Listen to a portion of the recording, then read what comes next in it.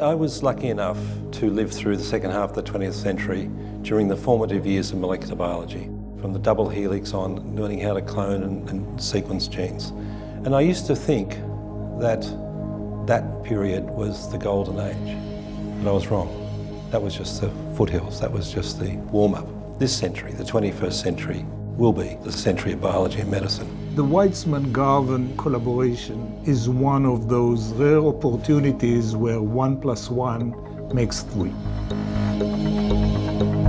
The Weizmann Institute is a place where basic research is being pursued in the highest level. It's the Weizmann Institute of Science. It's about great science that will answer deep questions.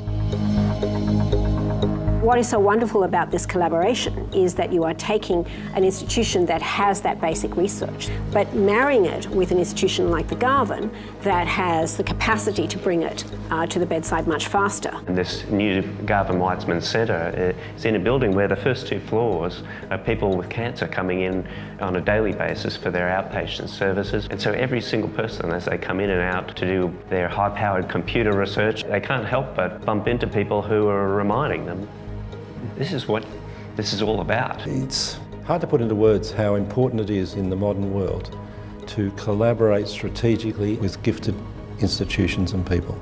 With the Weizmann and us, we, we have the whole package. Hey Peter, good morning. How are you doing?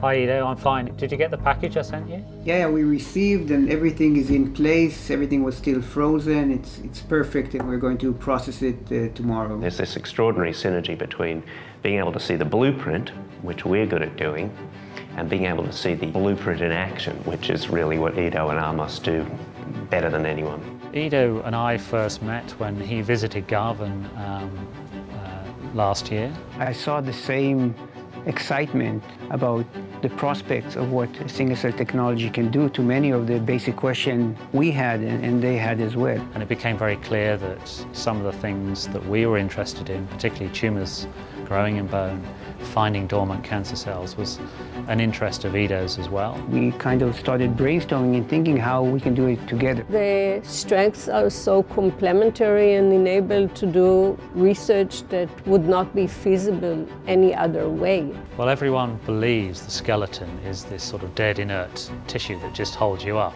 Uh, but it's a living, vibrant uh, organ, and cancer cells can enter the vasculature and spread via the blood system. Once they've arrived there, they enter a so-called dormant state.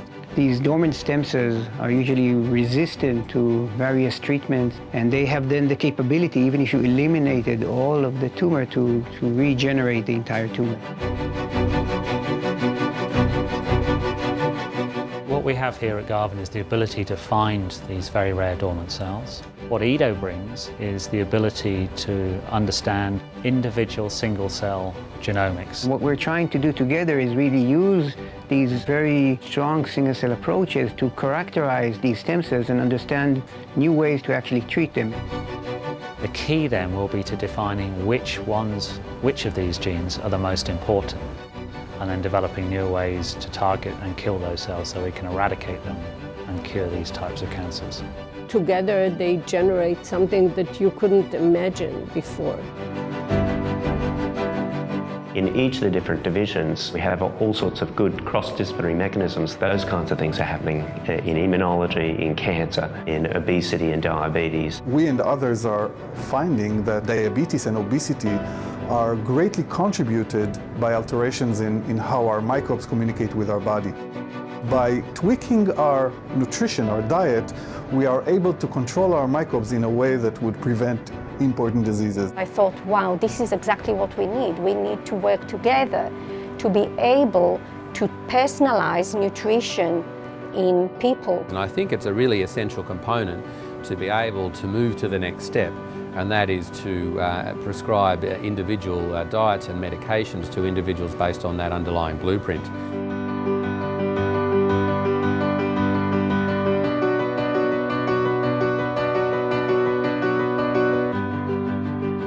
There's a lot of enthusiasm and a lot of drive to remove the barriers from these types of collaboration. Well, video conferencing makes it easy, so you can actually talk with good morning. How are colleagues from anywhere. But it, it goes much beyond that. The idea is to exchange technologies, to exchange people, and fertilizing one another with new ideas and new technologies. The progress that we are making is so rapid and so great that therapeutic applications are being developed as we speak and may reach the bedside sooner than uh, you may think.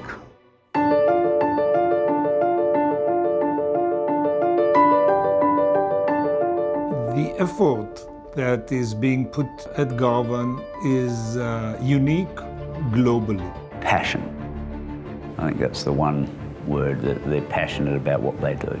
You have a lot of incredibly bright people who could pursue a career practicing medicine, but they've chosen to come to these two institutes for the same reason that philanthropy has chosen to support these two institutes. They can see that this genome sequencing is, is changing everything for the future, for the better. It's not often that you get the opportunity to recognise a potential one plus one equals three uh, situation. I think eh, too often in science you meet people who say no or say, oh, I don't believe it, or, you know, it's not possible. The really good ones say, that's interesting. Tell me more. What can we do? Is it difficult? It's very difficult. Is it possible? It is really possible. And this is exactly what we're, we're doing today. I'm always amazed by the uh, phenomenon that, that the whole ends up being so much greater than the sum of the parts. You put your heads together, put your resources together, you don't change the world. I don't just think it's desirable, I think it's essential. Hey, good morning, Peter. Good night, Ido.